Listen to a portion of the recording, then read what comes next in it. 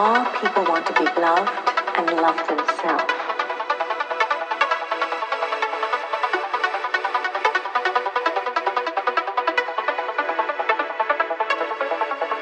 All people want to be loved and love themselves.